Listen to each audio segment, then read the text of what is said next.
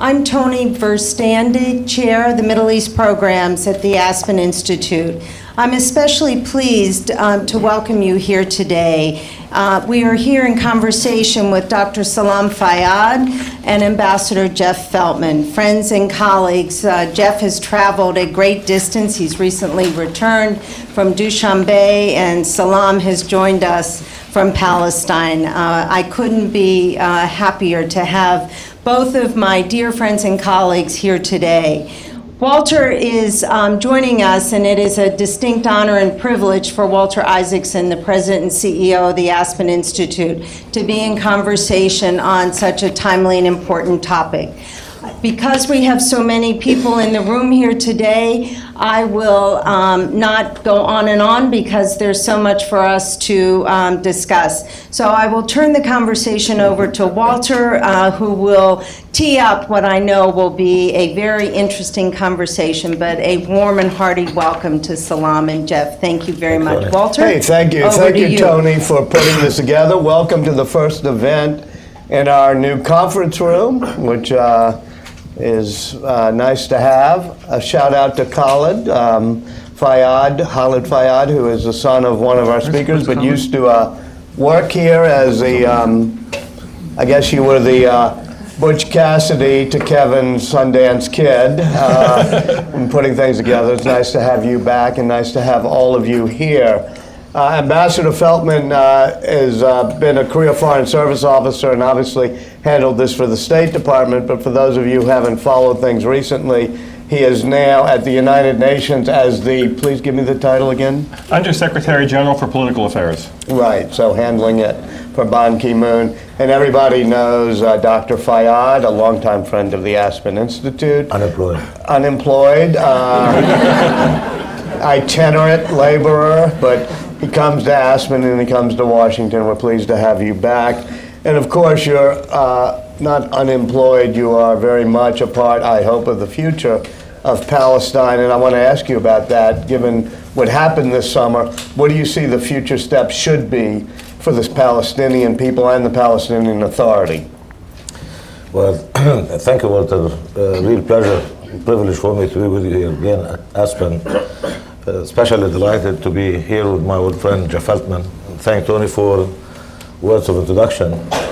Uh, good question, and uh, uh, I think relating it to where we are, uh, particularly after the devastation of war that lasted about 51 days uh, in Gaza and around it, I think the question is where do we go from here, given all of that, and whether the tragedy of it all notwithstanding, uh, a way forward could be found, uh, including, of course, the immediate task of dealing with the immediate aftermath of the war in terms of the humanitarian relief work that needs to be done.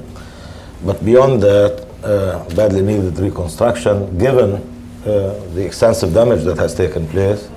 Uh, a lot of events and activity uh, are underway in connection with this latter task. But this is not to really skip over uh, the most uh, urgently needed work that needs to continue to be done uh, in the per period immediately ahead, and I believe for several months, uh, given the devastation uh, of the war. Question is uh, politically whether this may pave the way for doing something to deal with the root causes of the conflict, and I think this is really good starting point of analysis. Uh, a lot of people looking at this, even when the war was going on, looking beyond what was badly needed in terms of securing a ceasefire, whether in the nature of something uh, like a humanitarian respite or uh, something in the context of uh, United Nations activity, Security Council resolution and all. But even in the midst of the war, people were looking beyond it in terms of what needs to be done to ensure that this does not keep happening so what is the silver lining of this cloud? I don't know if there's a silver lining uh, to this. I, mean, I, I, think one can be generated, one should be generated uh, uh on the basis of what needs to be done. I think uh, I see and I hear a lot of voices calling for, uh, again, dealing with root causes of the conflict, with that meaning rushing back into negotiations without any adjustments, without serious preparation. And I, and I do not think that would be necessarily productive. I don't think that's really the right way to go. So we shouldn't rush into negotiations. No, uh, I think what we really should do, I I think definitely uh, a, a process of sorts need to be needs to be resumed at some point, and the sooner the better, but not before critical adjustments are made to the existing paradigm. We've been doing this for more than 20 years. And what critical adjustment would be the most important? There are two that come to mind uh, in the main. I spoke about that, the Atlantic Council, uh, 31st of July, 25 ye- uh, days into the war. And I think there are two elements that need to be addressed. One relates to the question of Palestinian representation, uh, and the second relates to uh, Oslo, uh, originally an interim arrangement, having become an open-ended interim arrangement. I spoke to that also at Aspen, Ideas Fest, on 2nd of July. With respect to the first question, uh, Palestinian representation, uh, I do not believe uh, there can be much disagreement that it's not adequate anymore, either to deal with the requirements of peacemaking or to deal with the requirements of national governance, given that the system has grown to become highly dichotomous in, in, in, in a very obvious way. It mainly consists of two camps. One has the de jure power of representation, that is the PLO and the factions under it. Uh, but unfortunately, given the failure of the process to produce a resolution over the past 20 years has become very weak. And the second does not have the de jure power to represent the Palestinian people, but has a lot of presence with the people in terms of it being more reflective of where they are on some key tenets of peacemaking. Question of violence, for example. Uh, question But I'm of sorry, who is the second? How would you characterize Uh, that? factions not under the PLO like Hamas, Jihad, and others. Uh, and uh, so you, you have to find a way of dealing with this. I recall, as a matter of fact, during the most recent round of diplomacy, between July of last year and through April of this year, the question that was uh, asked by the Israelis often was, all right, we're negotiating with the PA or the PLO, but what about Gaza? Meaning, what about Hamas? What about these other factions? Uh, I think that was a valid question, and that continues to be a valid question. Uh, a way has to be found to make a whole out of these two camps, so to speak. Uh, notwithstanding the commitments made by the PLO on behalf of all Palestinians uh, in September of 1993. A way has to really be found, and I think one can be found, uh, to deal with this uh, political pluralism, uh, if you will. There are reasons why those other factions, Hamas and Jihad, have grown in strength. There are reasons why you know belligerence started to be viewed as something that pays off, and violence. Uh, failure of the process for much of the past 20, 20 years certainly has contributed to that. This is something that has to be taken into account. Now, Hamas, uh, Jihad, and like-minded factions do not accept the commitments made by the PLO on behalf of all Palestinians in September 1993. I do not know if it is really uh, too productive to engage in an activity aimed at convincing them to change their mind uh, anytime soon. Uh, that's not likely. Well, I'm sorry, so you don't see a reconciliation of the PA structure with Hamas anytime soon? No, I think reconciliation is important to take place, uh, but I think it can be uh, achieved on the basis of something less than what the existing paradigm requires. Uh, not because I wish it to be so, but because that's a reality. You know, Hamas is not about to accept the commitments entered into by the PLO on behalf of all Palestinians in September 1993. What do you do? They do have power of representation. They do have presence with people. They happen to reflect the state of mind, they and Jihad Islami and others, uh, of Palestinians to a much larger extent than does the PLO today. So this is a reality that has to be taken into account. Another relates to, our, to the other key commitment made by the PLO back in September 1993, which relates to the renunciation of violence. Uh, as everyone knows, Oslo stands on two key commitments on the part made by the PLO. One relates to recognition by the PLO of the right of the state of Israel to exist in peace and security, and the second one uh, deals uh, with renunciation of violence. Uh, and the PLO did accept those two requirements. Hamas accepts neither. Jihad accepts neither. Uh, what do you do? Uh, we would like for there to be consensus on those two uh, issues for sure. But if we can't find one, I don't think it's really wise to continue to wait until that kind of con- consensus can be forged. Question is, can we as a practical matter find a way without abrogating the commitments made by the PLO on behalf of Palestinian people to make sense out of this diversity on part of Palestinians, to try to move forward. So this is one set of consideration, uh, considerations. The other relates to the fact that Oslo has in effect become an open-ended interim arrangement, contradiction of terms, obviously. Uh, the commitments made thereunder made sense in the context of a process that was supposed to yield results in five years. May 1999 was the presumptive end date of negotiations on permanent status issues. Well, we are more than 15 years beyond that now, and it has not happened. So clearly, something needs to be done in order for that process to once again be bookended by something other than continued occupation. Mm-hmm. Unless that adjustment is made, then you know there will be this absurd situation uh, perpetuation of this absurd situation where we Palestinians would continue to be asked and expected to continue to negotiate with Israel, accept either accept that which Israel has on offer, or failing that, accept the reality of continued oppressive occupation. And I think to say that this is an But how can you set a deadline? You know, uh, Oslo itself was bookended by something. Uh, negotiations on so-called permanent status issues were supposed to be concluded by May 1999. So there was a, a, deadline of sort, but that was not respected, and we ran over, and we, we have been running over now for more than 15 years. But why would Israel accept a deadline saying if we don't get it by this date, we will end our occupation? Uh, first of all, uh, let me make it clear. Uh, when I say we need a date certain for ending the occupation, uh, it is intended in the main to deal with what has become an absurd situation, an absurdity, really, because here we are, there are two parties to this process, Israelis and Palestinians. They are the principals. Um, Israel happens to be holding on to the cars, to the land. Mm-hmm. It has to withdraw and relinquish control over that territory in order for that sovereign state of Palestine to emerge on the territory occupied by Israel in 1967, in Gaza Strip, in West Bank, including East Jerusalem. Uh, there is an inherent uh, imbalance uh, in, in, the relationship between the two, the occupier and the occupied.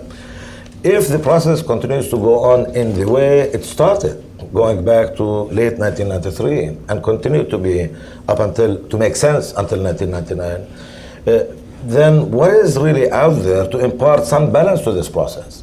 Once we cross the threshold of 1999, it appears that we really are in a situation where we either accept that which is on offer by Israel, again with this massive uh, uh, imbalance uh, in power between the two sides, or accept reality of occupation. That doesn't make sense. Point number two, which I'd like to make on this one, the fact that I'm calling for there to be agreement on a date certain for ending the occupation, it is intended to restore at least the intent of what Oslo was supposed to be about. Oslo was not supposed to be about an open-ended process. But two, that this thinking does not preempt the need for negotiations. Uh, but we need to have the process book-ended by something that's related to the core objective of Oslo, to, which Oslo itself, by the way, was, was implicit on for, for uh, reasons that I don't know if there's time to get into. Uh, ending the Israeli occupation that began in 1967, an emergence of the sovereign state of Palestine on territory occupied in 1967. So something like this needs to happen. Uh, a, a date that can be agreed, and, and then negotiations should proceed mm-hmm. to deal with permanent status issues. I, am not saying that you know there is a uh, that the effort should be about finding a date certain, but then things will happen automatically. There is precedent to this. United Kingdom, when it relinquished control over Hong Kong, uh, that was a process that was supposed to take five years and end in 1990. 97. Mm-hmm. Negotiations did take place between Great Britain and China on the fate of Hong Kong and how authority was supposed to be transferred and the rest of it. There were many problems. There was a lot of acrimony, but there was no uncertainty as to the date when this was supposed to happen. 1997 on the dot happened. So that's what I'm really. Uh, Ambassador Feltman, a lot's been put on the table. Let's start with the Hamas Palestinian Authority divide and how you see it wearing a UN hat, reconstruction of Gaza, and the other surrounding issues. Well, well, let me start by saying thank you for the invitation, Toni. It's great to Toni. see you, and and I also very much enjoy being listening again to my friend Salam Fayyad with his wisdom. I'm afraid that we in the UN are still on some of the old paradigms that Salam is putting aside, because you know our our operating um, rules derived from the Security Council resolutions or, in the absence thereof, General Assembly resolutions. And so we still very much support Palestinian unity, but within the context of the PLO, commit, of the PLO commitments. Can you get from here to there, you think? Well, we sometimes I feel sometimes I feel like um, we're the only ones who say this, but we very much would like to see the government of national consensus actually work. You know, this this derived out of the out of the April reconciliation understanding between between Hamas and, and Fatah. A in theory, a government of national consensus was formed. We see that as the tool to bring about a legitimate um, and accountable government for all of Palestine but it's going to be hard to get there. Right now, as I say, we seem to be the strongest advocates. I don't see a whole lot of advocacy for empowering the government of national consensus from other quarters, but we certainly, we certainly believe that you cannot address effectively the challenges in the Gaza Strip, socioeconomic, weapon smuggling, what have you, if you don't have a legitimate and accountable Palestinian government in place that right now the best tool, for, the best vehicle for doing so seems to be the government of national of national consensus. But the but one of the things that we're working on at the UN in the short term, of course, are the humanitarian needs. The you know 20,000 housing units destroyed or you know not inhabitable, another 40,000 damaged. 111 UN facilities damaged, three of which will have to be reconstructed entirely, three, um, two schools and a maintenance facility. And so the first thing on our agenda right now is trying to address some humanitarian issues, the immediate energy, water, shelter needs, and then move into a way that we can try to build a mechanism with the Israelis and the Palestinian government that would allow the reconstruction material to go in. This is going to be a massive undertaking. But aren't these interrelated? Yes, they're absolutely interrelated. Um, but it's going to take commitment on both sides in order to have the type of mechanism that would, that would allow sufficient quantities to meet the scale of reconstruction needs in Gaza right now. Um, I'll give you one, just one illustrative st- statistic. There are still 63,000 Palestinians living in UNRWA schools. 63 Palestinians. Now, at the height of the fighting, it was up to 290 some thousand, almost 300,000 living in UNRWA schools. Uh, there are still 63,000. That's more people than took shelter in schools during the 2008 2009 fighting we have to find a way to get those to get to return some sense of normalcy to those people's lives. We have to put the schools back in operation. One out of every five schools still has refu- still has displaced in them. Um, so it's it's not something we can ignore. So we look ahead and think we have to get back to a politi- to where the, you can see a political horizon again. But the short-term needs are great, and to have a mechanism that would allow reconstruction to take place, we can build on the precedent of what was there after 2008, 2009. But that was a small mechanism. That was a mechanism that allowed construction material for UN projects. And it didn't work very fast. There were UN projects that were never um, approved by the Israelis. So, so to, to make a mechanism for reconstruction, it's going to have to do four things simultaneously. It's going to have to satisfy the Israelis that there's sufficient security assurances there, meaning monitoring of where of civilian of civilian construction, where civilian construction material goes. Second, it's going to have to be of sufficient scale to to to meet the needs.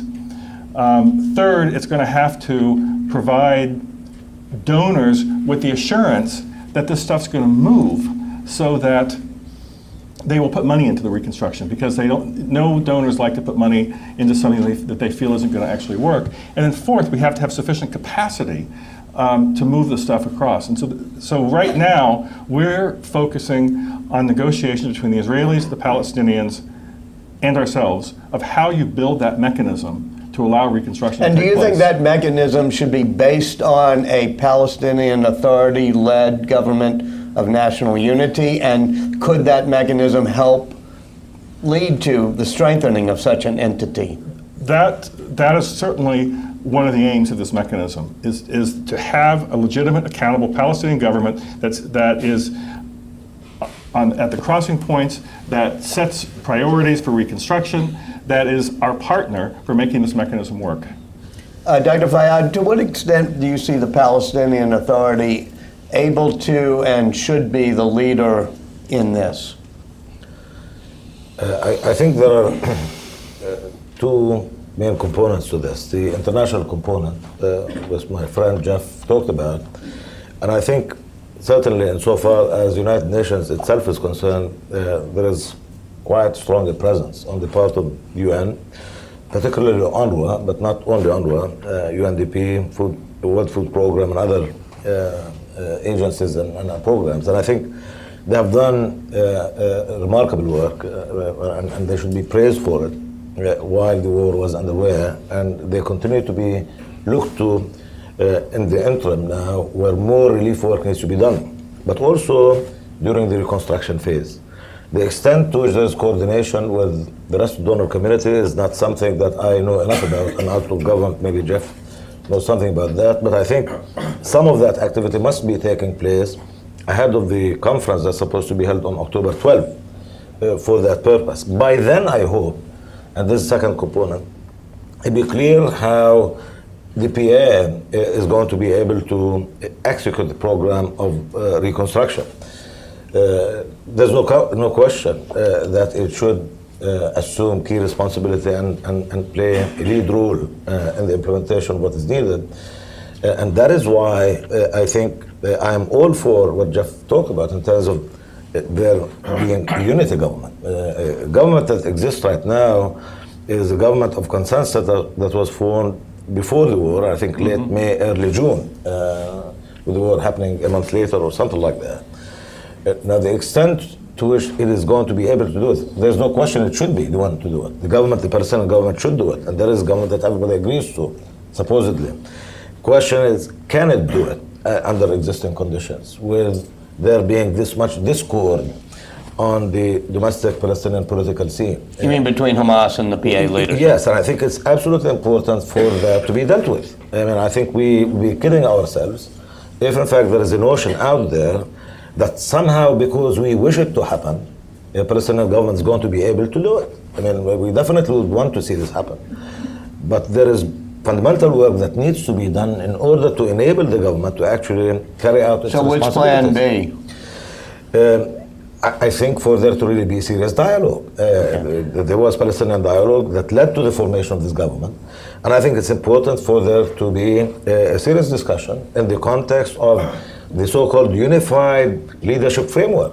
Uh, this is something that the Cairo Accord had provided for, that the most recent accord that gave rise to the existing government called for, which is a convening of this forum of factions, inclusive of everybody.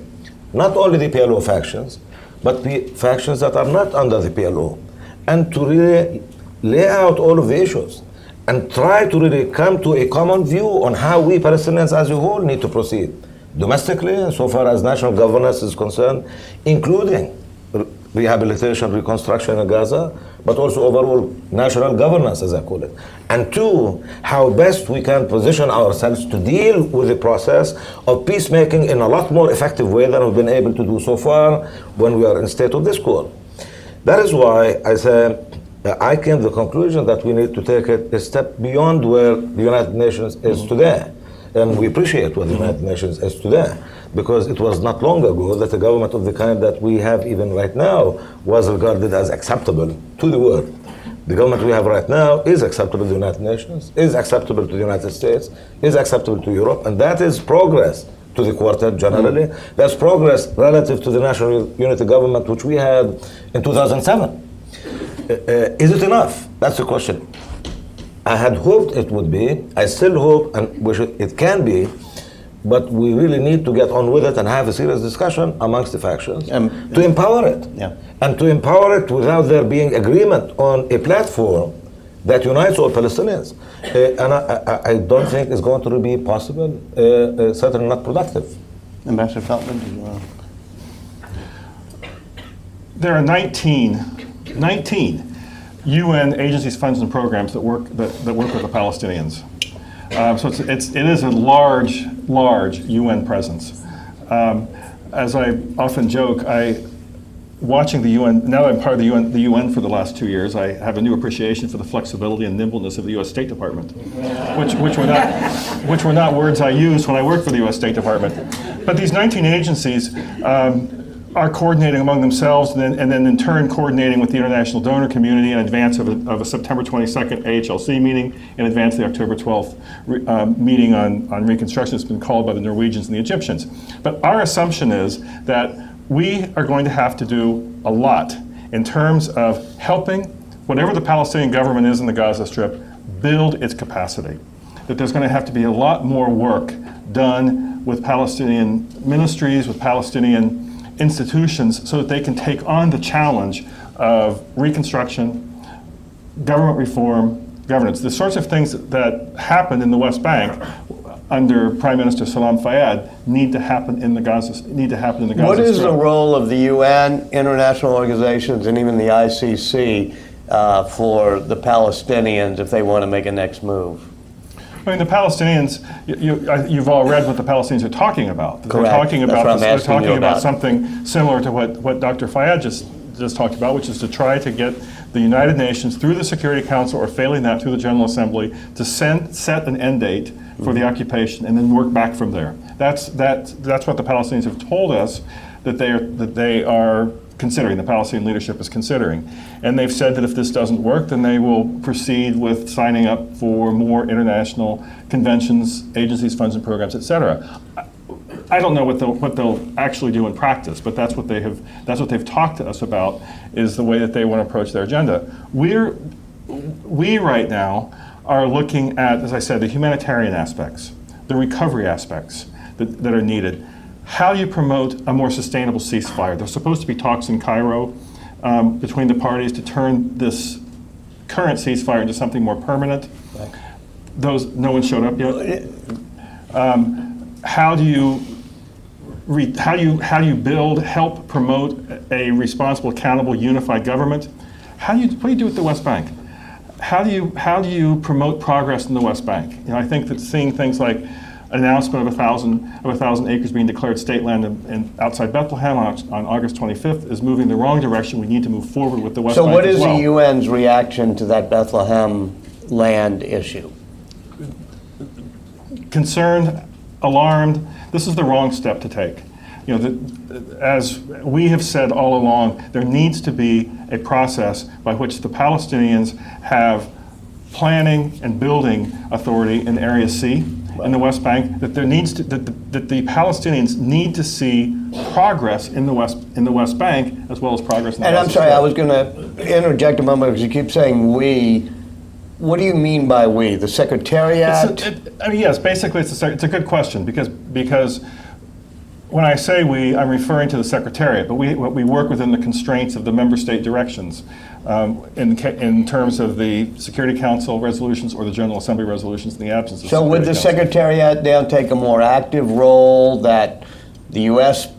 peace process has slowed down a little bit? These things are happening. The Palestinians seem to be ready to go to the UN. The way that we look at this is, is we think that we can work with the Palestinians and the Israelis to help build a better foundation for returning to the, to the peace process. We right now are not putting out any peace process plan of our own. Um, we're trying to, to deal with the issues that could establish a better atmosphere for, for grappling with the political issues. You have to go to. You have Okay, to but my ears pick up when you say we right now are not putting out a peace plan. Does that mean that's something you would consider doing at some point?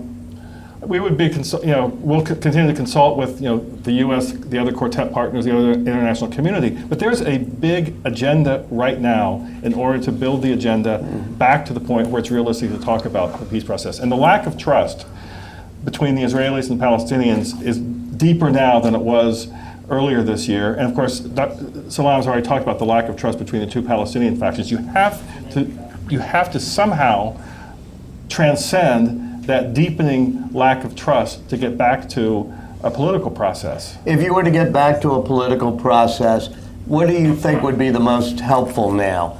A U.S. peace plan being tabled, the UN stepping in with some ideas, the quartet re engaging, or finding a way to have direct Palestinian Israeli talks? All of the above, uh, I think would be okay. I mean, uh, no objection to, uh, you know, how the, the, process is relaunched in, in terms of uh, the auspices under which that might, occur. Uh, you mentioned several players within the quartet, for example, and uh, that's a possibility. What's really important from our point of view is the basis, you know, for relaunching the process.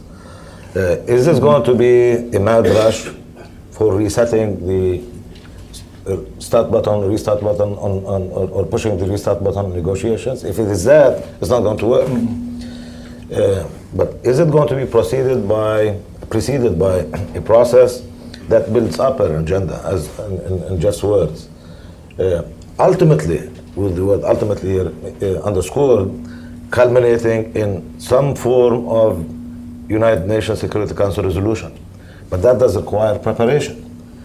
When I say it's important for there to be agreement on a date certain for ending the occupation, I do not, and speaking for myself, uh, have in mind rushing to do this tomorrow. What I have in mind is a process that sets the stage for this because we know the politics of the situation of this internationally. What is the point, unless really it's about making the point of going there, for that resolution to fail? We want that activity to be successful. We want to go to the United Nations hand in hand with everybody in the international community to secure agreement that enshrines date certain for ending the Israeli occupation, and then work backward to end it. I think that this But is you the say go hand in hand with everybody. There's Yes. some in the quartet at the moment that would be in favor of that. One assumes that Israel would be least in favor of that, right? And the United States, it's unclear where it would be. How do you see getting enough support for that plan? I think it's, it's important to take into account, of course, the disposition of the partisan principles to this. But so long as the process continues to be driven by that which one party to the negotiations thinks is the right way to go, particularly if that happens to be the occupying power, I think this process is doomed to continue to fail. This is the fundamental contradiction in, in what the process has been about. And so is there a plan B to that, which is to go demand UN recognition on I am all for this serious discussion, uh, including especially with Israel. You asked me before, what is in it for Israel? Uh, would Israel agree to what we were talking about? I think it's important to engage in serious discussion with the Israelis uh, on the steps going forward.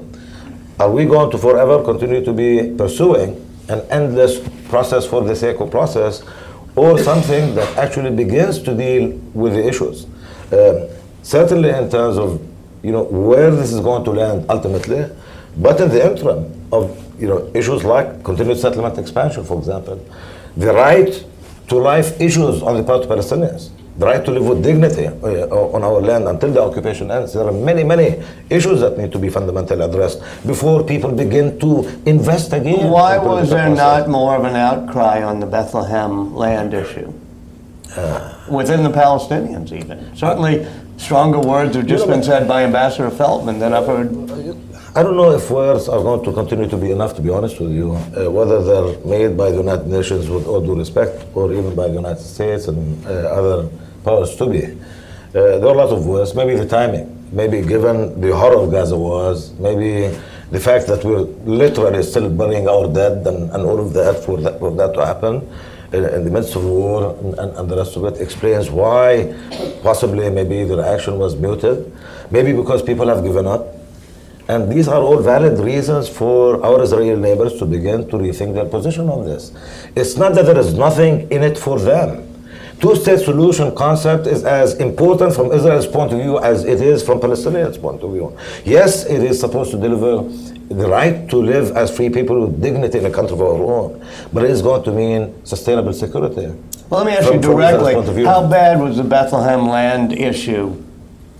Oh, it, it's it, in, in the obvious material sense, uh, it is devastating for sure, in terms of it uh, uh, constituting uh, part of an activity that has been extremely detrimental to the continued, um, the prospect of continued viability of two-state solution, where it is specifically uh, in connection in relation to Jerusalem is of course an added uh, complication and, and, and cause of major alarm and concern.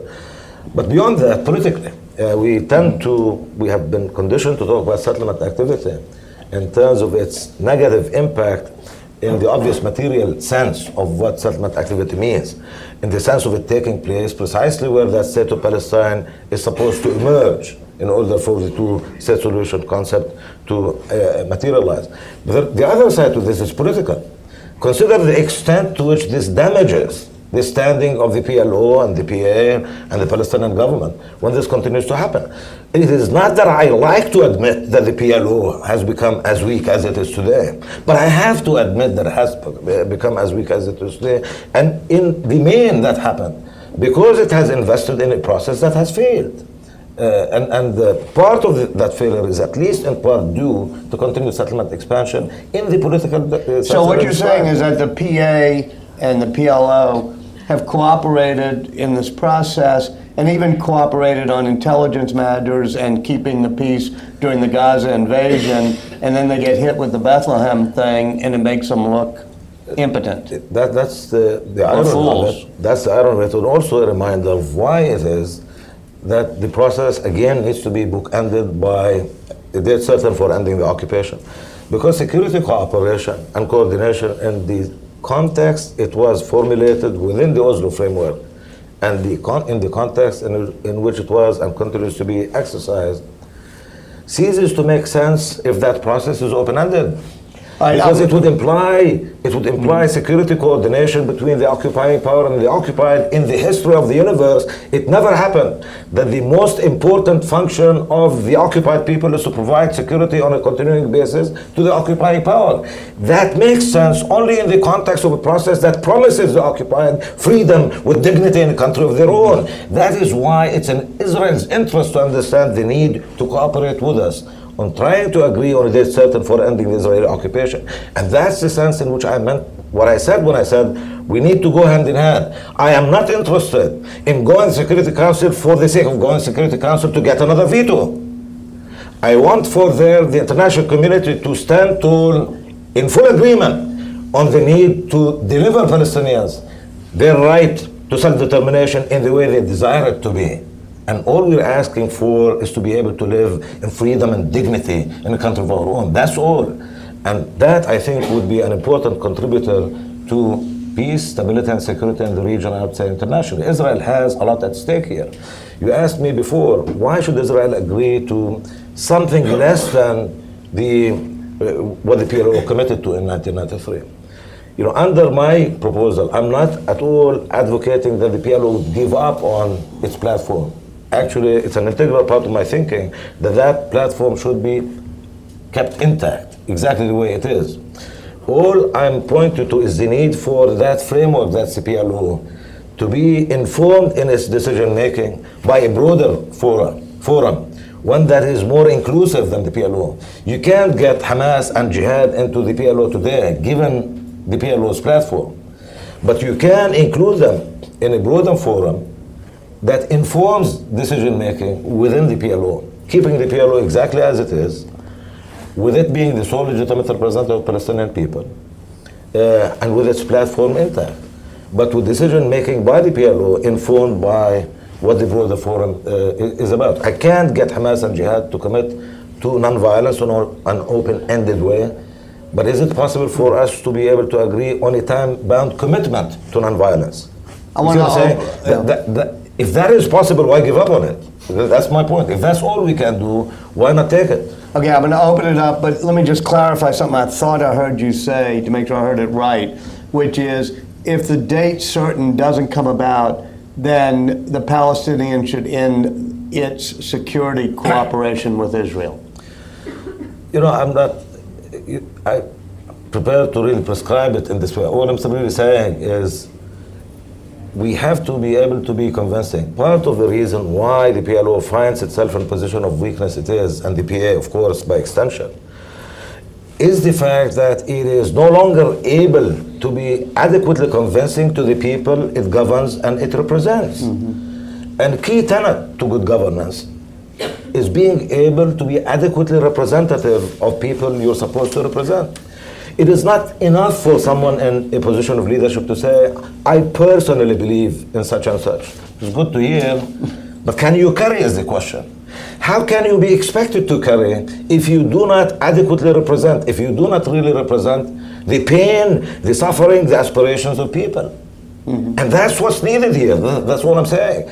You know, the PA and the PLO cannot continue to be persuasive and convincing to the public at large, saying we need to continue and we must continue to provide security to our Israeli neighbors if they are unable to carry those people and, and our, our own people and to be credible uh, in, in convincing them that there is going to be an end to the suffering. Ambassador, did you have a point to add to that, or should I go to the question? Just go to the floor. Uh, uh, Janice Berman. Yeah. Janice Berman. Hi. um, My question is a little bit more practical. Yeah. Until Israel or the PA, until Israel or the PA or the PLO get it together, or the UN get it together to come up with a solution, are the funders in the Muslim countries stepping up to actually, the supporters of Hamas in the Muslim countries, stepping up to just help the people on the ground? Have they been approached to lead the charge? All right.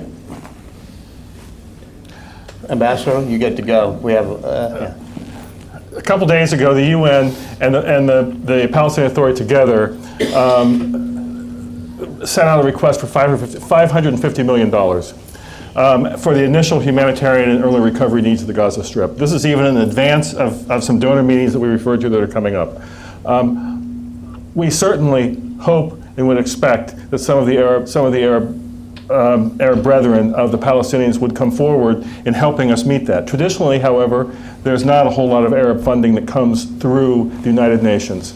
Um, any Arab funding tends to go directly to whatever faction that particular Arab country wishes to support. Um, there have been a few exceptions where we've been able to get Arab money, but in general, the Arab countries do not tend to use UN um, financing mechanisms to address humanitarian needs. Doing it independently? I think that the, I think that the change of government in Egypt has made a big difference in terms of what flows to Hamas in, in Gaza, for example. Certainly, certainly, with with the Egyptian campaign to shut down the tunnel the tunnel trade, which is which should help us on the arms smuggling question, it's also cut off some of the humanitarian supplies, money that was flowing through those tunnels. But I don't know if you have anything to add on that, Salam. Um, no, not much to add by way of information, but, but I think it is widely expected uh, that Arab countries are going to be part of uh, uh, base of support uh, for the effort going forward, whether in reconstruction, which is going to be massive, uh, and also uh, the ongoing needs of the PA as those stood even before the war. Uh, and that's an important part of the equation, and it's likely to continue to be the case for a number of years. Actually. yeah, right here. Why don't you identify yourselves? Yes. Um, sorry, my name is Paul Sombra. Uh, Ufan Emmanuel from Seagull. Um, one of my questions is that given the sorry, um, given the uh, issue of settlements with Israel invading into the West Bank, is there room for a unified Israel-Palestine Republic with proportional representation instead of uh, direct representation? With In other words, a one-state solution that's democratic? once the solution that's yeah, which, which is democratic, but Palestine will get a certain guaranteed amount of votes, Israel will get a guaranteed amount of votes. not stated in terms of preferences. I mean, I wouldn't really uh, refer to it as a solution, but, but reality. I mean, uh, in the absence of agreement on the contours of settlement uh, that produces a, Palestinian state uh, able to live in peace, harmony, and security with the state of Israel, uh, reality of occupation is going to continue, uh, with there being an obvious problem, particularly for the state of Israel, in terms of how it could continue to project itself internationally and uh, to its own people, its own public, as democratic state uh, uh, with, uh, at the same time, dominion over the fate and livelihood of, in today's count, 4.6 million Palestinians in Gaza Strip and West Bank, including Jerusalem. This is really a fundamental question. Uh, I can tell you that uh, we stood for and we continue to stand for, I do, um, uh, emergence of a fully sovereign state of Palestine uh, alongside the state of Israel. Um, that's the solution that we would like to see happen, and uh, as part of the solution to the conflict. Right here. Thank you. Yes, my name is Said Arikat. I'm a Palestinian journalist. I was also a UN spokesman in Iraq for five years under your pre- Welcome back. predecessor. So, uh, my question to you, uh, Dr. Fayyad, is that the day before yesterday was the 21st anniversary of the Oslo Agreement. And I want you to tell us how much better off the Palestinians today now than they were 21 years ago. And has the time really come, perhaps, just to fold the tent and just, you know, back, basically go back to the occupation? And what would be the role of the UN in doing so? Because under the occupation, or let's say before 1994 or 93, there were no walls. There were, the land was not being taken, grabbed, you know, day in and day out. Palestinians were not being killed in mass as they were in Gaza lately. Thank you.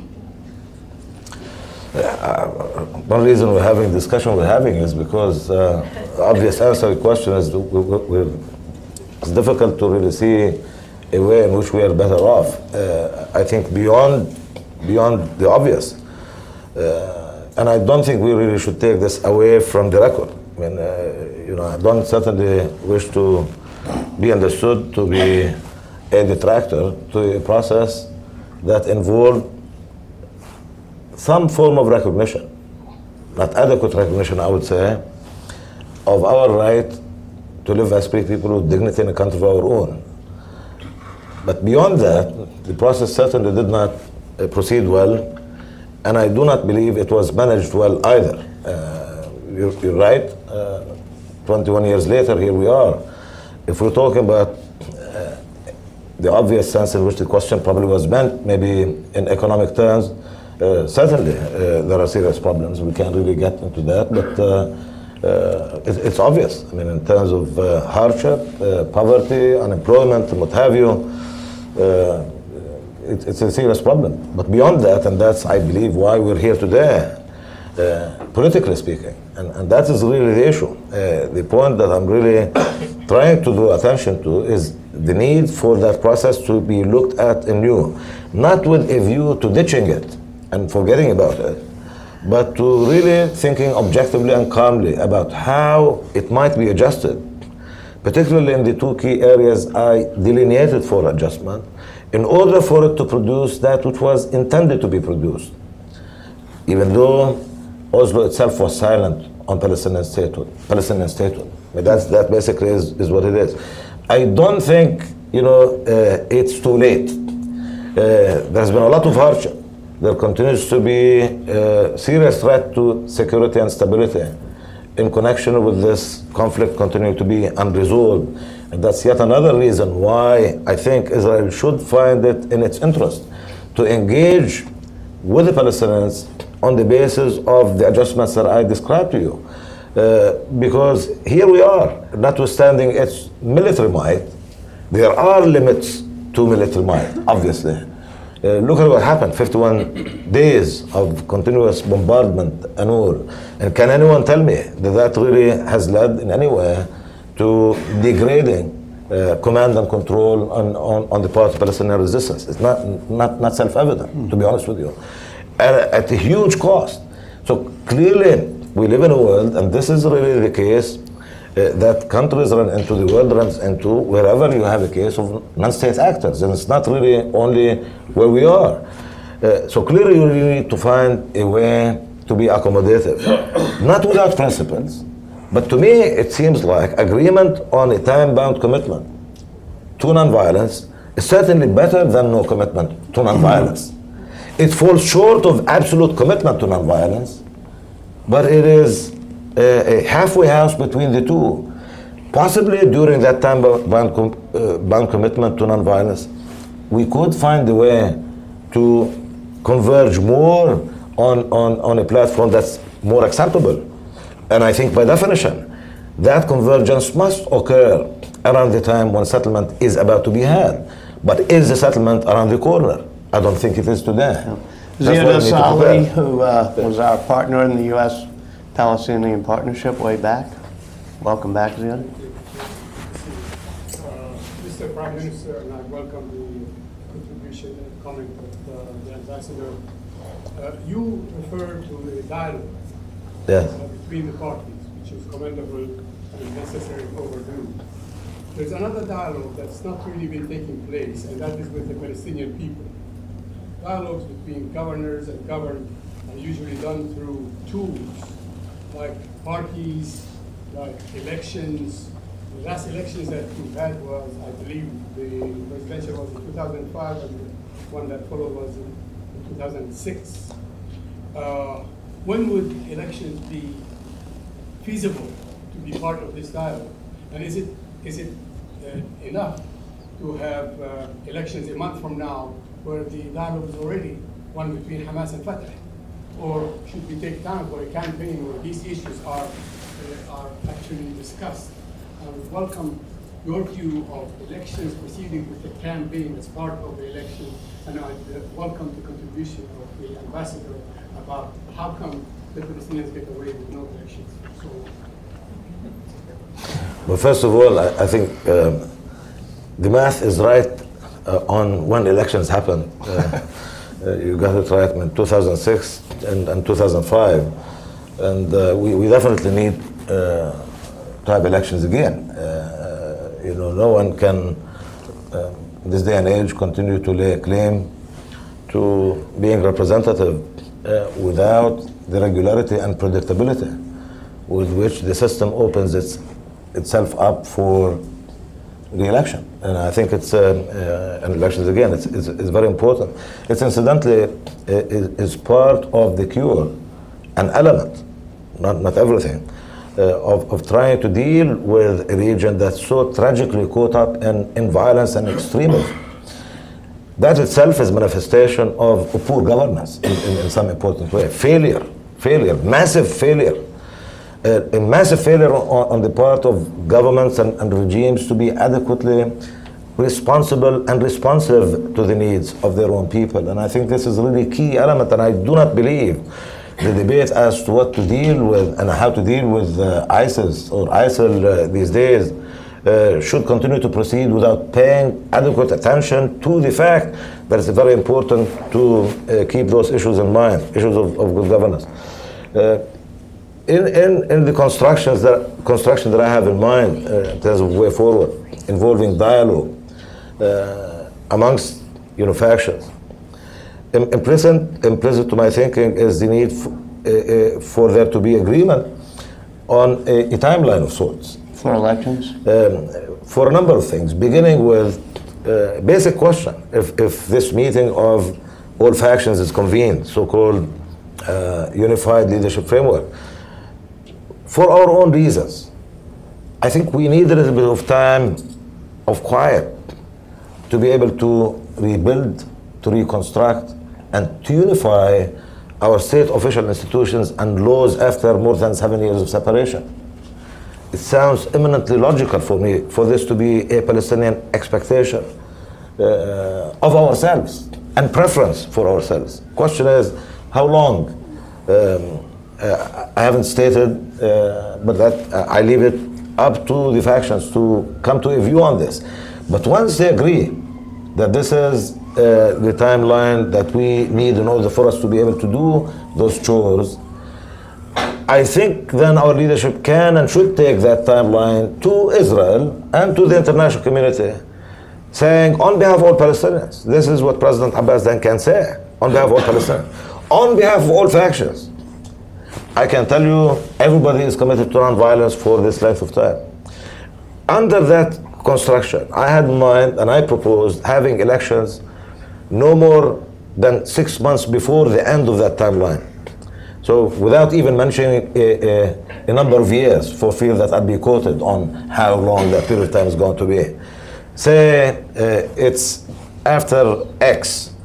Uh, in my formulation, at least six months before X ends, there should be elections. Would you run? This, this is, I'll, I'll, answer the question. Uh, this should give this should give everybody enough time to prepare. You're right about the point uh, of the public space. Where is the public space? Uh, whether in the in Palestine or the Arab world, for that matter. I mean, you look at a region again tragically caught up in violence. Where is that public space? That's the point that really should not be ignored. I think we Palestinians, with good reason, pride ourselves on being an open society.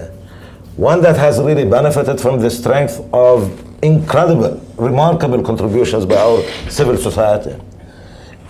And I think, true to tradition, true to form, I think this tradition needs to be uh, preserved, if anything, actually strengthened. It is thanks to the civil society that we were able, our people were able to endure during many, many decades of oppression and occupation before the Palestinian Authority showed up. And I think it's very important to open that political space in order for people to have uh, uh, uh, the possibility and opportunity to exercise their right to choose uh, their leaders. And it's important for that process, in fact, to be inclusive, fair, and open. And, and, and in the interim, to open up the political space, as a matter of fact, and the political system for participation, including on the part of youth. That's very important. Half our population, totally disenfranchised. People wonder about the region. Where is it really going and how is it going to really be dealt with? With the youth totally ignored, not featuring on anybody's agenda. How can you possibly? And this begins to answer your question, and I do not know the extent to which I really, uh, you know, talk about that. But, but a political movement that's not able to respond to the needs of the youth and to be thought of, of as significant or relevant from their point of view, you know, does not have much of a chance, should not, to be honest with you, have much of a chance. Uh, any political movement must really be, present itself as one that is going to be democratic from inception, from inception, from very beginning. No leadership that's really imposed from above. If in fact something like this can be thought of as um, a unifying uh, starting point of, of analysis in, in, in, political terms, most certainly this is something that should have the support of people uh, uh, like me and others. Uh, we're all for uh, empowering people because that's really where it ultimately resides. Freedom is completely indivisible.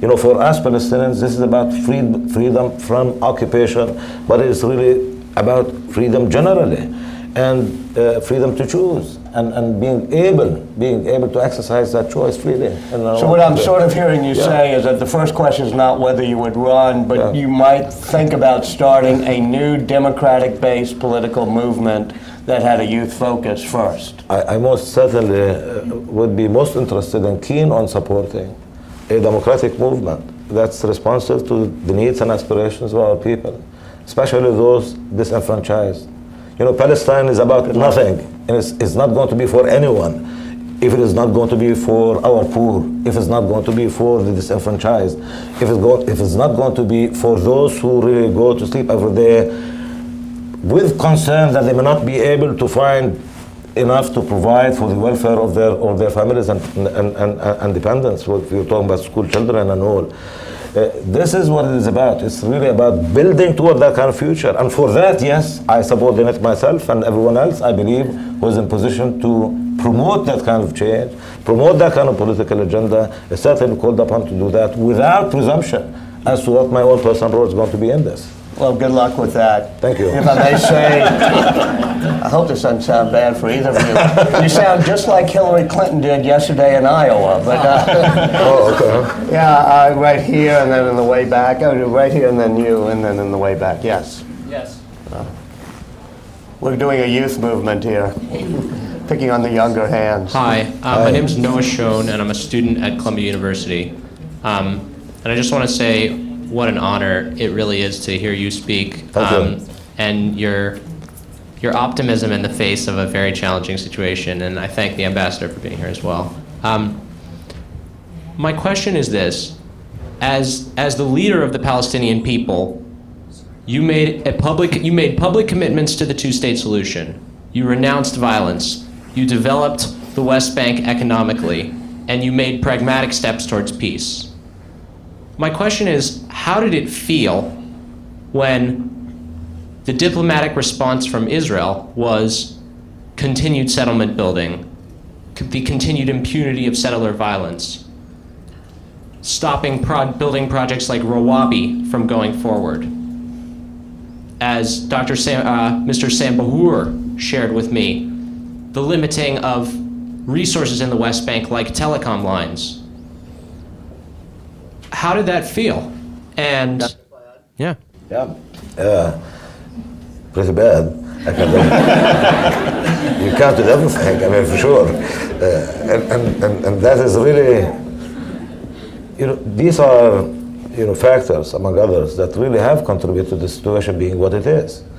Uh, you know, but I'm, I would never lose hope about this. Uh, let me tell you, uh, I, I think, you know, to think that uh, a, a situation of injustice, deep injustice, is something that can be sustained is, is foolhardy. And, and, I, and I think uh, it, it, really would be to the detriment of everyone, uh, of everyone concerned. Not only Israel, but just about everybody. Uh, to continue to really operate on the basis of premise that this is somehow sustainable. It isn't, it can't be, by definition. Uh, you can achieve security on the strength of force, but you cannot sustain it on the strength of force alone. There has to really be a sense of justice. People have to really feel uh, that they belong to an order of sorts, in this case, a regional order, that provides justice uh, in a reasonable way. Uh, then and only then uh, can we really talk about things in, in, in more rational terms. So I, I, think these are factors that really have contributed to the situation being what it is. With the PLO having been reduced to the situation of weakness it finds itself in, and, and the PA. And with it, credibility with the people. You know, you can't. I mean, that's, again, I keep going to this point. What is the point of continuing to say, I believe in this and I believe in that if I can't carry? I mean, that's very important. And that is why I think it's really important to really give people of the region, our people in this case, Palestinian people, uh, the space uh, and, and uh, uh in, in the sense of uh, it being understood when our people demand, you know, responsive, you know, government, uh, that they are really well within their right to expect a, responsive uh, representation. In the same way that people in this country, for example, uh, are expected you know, to be a source of legitimacy for, for the government, its uh, decision-making processes and, and what have you. Not to continue to deal with us, whether Palestinians or Arabs more generally, uh, uh, on a for granted basis.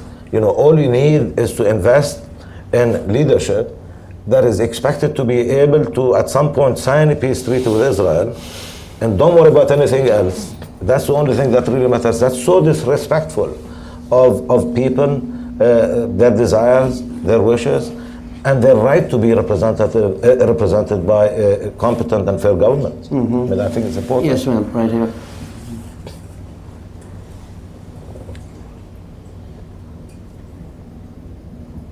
Hello, my name is Julia Volpe, and I'm with uh, SCGL. And I want to, I understand that in Israel, after graduating from high school, men must serve two years in the army. Do you think that that affects the conflict between Israel and Pakistan in any way? Palestine, you mean? Palestine. Yeah, sir. And if it does, how? Why don't we, uh, I don't know if Ambassador Feltman wants to tackle that one, but we haven't gotten you in here in this discussion enough. Um, I, I don't have much much to, to say about about how Israel you know governs itself, the rules that Israel has has in terms of, of treatment of what its own citizens' requirements are. You know, the United Nations is made up of member states. You look at the, the 193 members of the United Nations, you see a great diversity in things like military service, representational government, et cetera.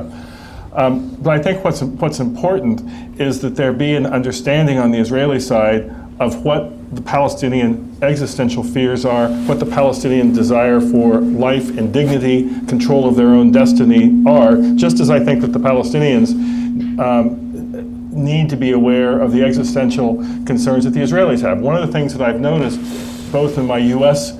Um, career as well as now in the UN, is how the how too often Palestinians and Israelis really misread each other, for knowing each other so well, for having lived, lived next to each other for so long, for having endured the occupation, which I think most societies suffer from for so long, there's, a, there's sometimes a fundamental misunderstanding. Um, and, and if both sides could help address that, so much the better. And I don't think it has anything to do with, with a rule for two years of military service or not. Lots of countries have, have military service. But, but let me take an example.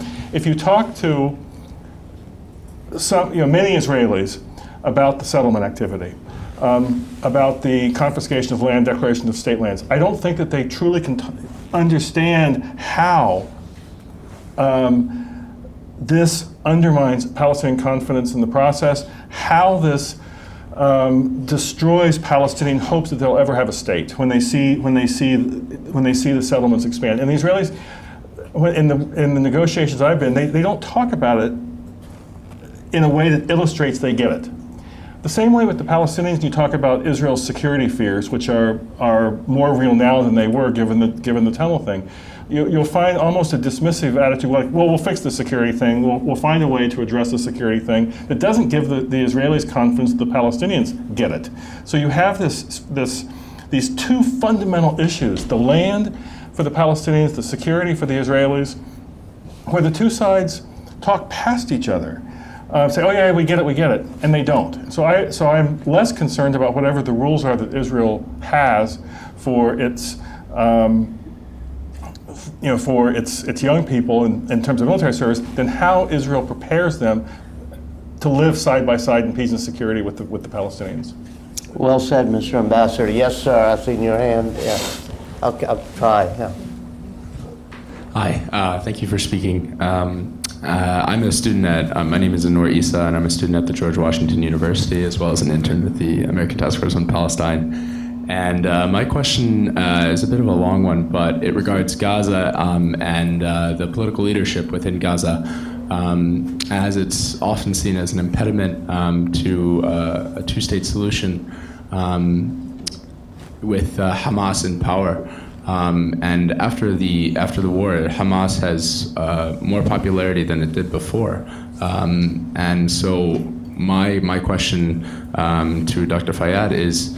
Um, what what steps uh, can be taken to increase the legitimacy uh, of the Palestinian Authority within Gaza, um, and um, you know, will it be uh, politically internalizing uh, Hamas, which we see didn't really work out, um, as Israel rejected the unity government between um, the uh, the Palestinian Authority and Hamas.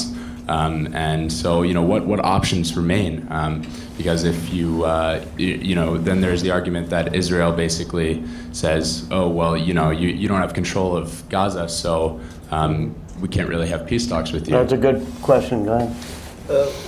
I tend to think in terms of, uh, at least for starters, what, what makes sense from our own point of view.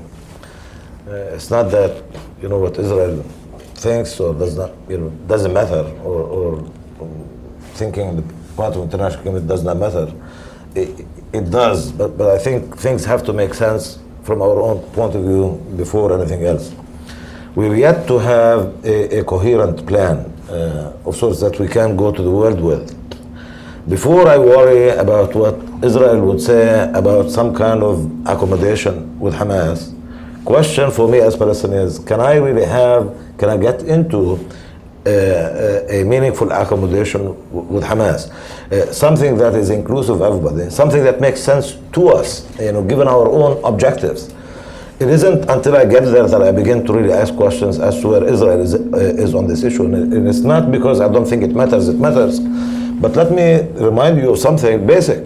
You know, when this, uh, the, the current Palestinian government was formed, I believe in late May, early June, uh, Israel made all kinds of negative statements about it, said, you know, saying this is something that it, it could not really live with, it could not accept. And repeatedly, Prime Minister of Israel saying things like, you know, Mazen had to choose between either, you know, continuing on in this cohabitation with Hamas or peace negotiations with, uh, with Israel. You, you remember all of that. Yet, amazingly, uh, while the war was still going on, you know, Israel started to shift its position on, on, on the government. Uh, I don't remember exactly the words, but with, with Israel the rest of the international community saying that they expected the Palestinian Authority to play a lead role, to assume a lead role in the reconstruction of Gaza. What else are they really talking about if they're not talking about Palestinian government? So I can't really, you know, worry too much as to where Israel is on that issue today. What I should worry about more is the extent to which we are willing to entertain, enter into a meaningful national dialogue with a view to forging a meaningful national consensus on the pressing issues of war and peace, beginning with What is it that we really need in order for us to rebuild our own country, institutions, reunite them and all? How long is going to really take us? There's a lot of work that needs to be done. You know, use my, my friend Jeff's words uh, in terms of things presumed. Nothing can be presumed about uh, having to really put together institutions that have been separate uh, and totally uh, decimated as a consequence of seven years of separation. This is not automatic. It's not going to happen all by itself. It requires serious work uh, uh, and preparation.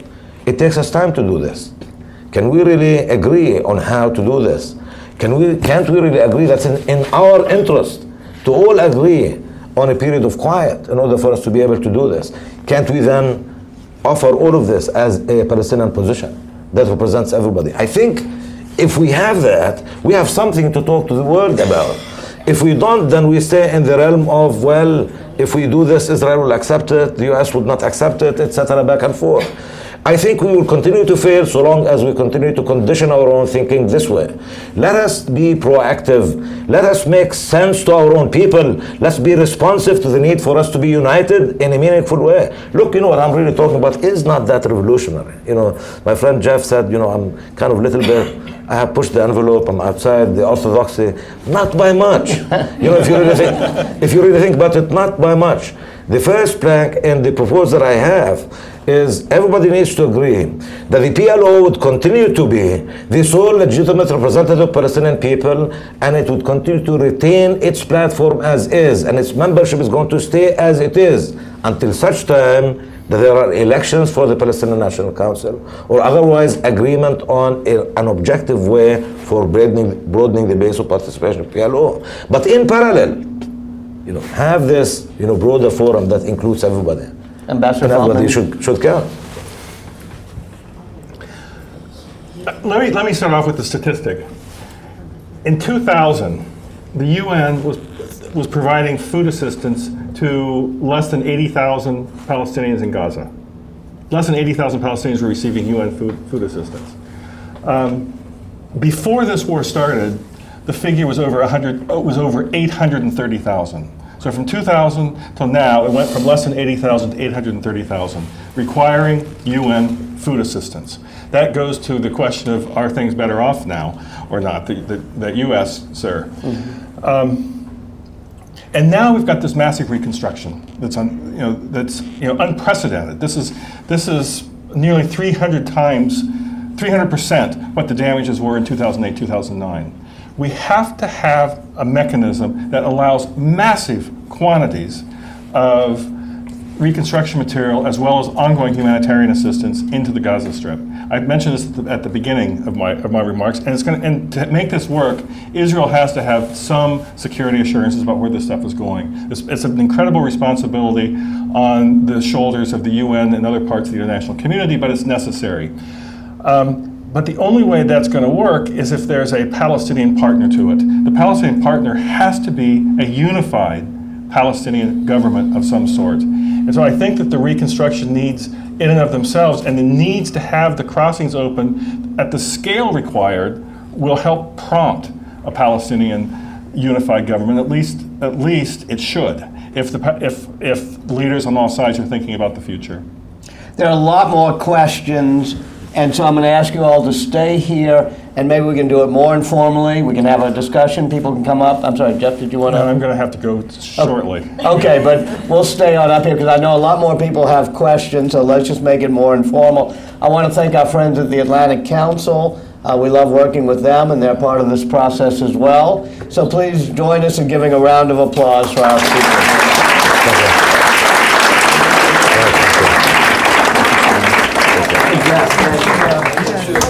It's wonderful to see you. I,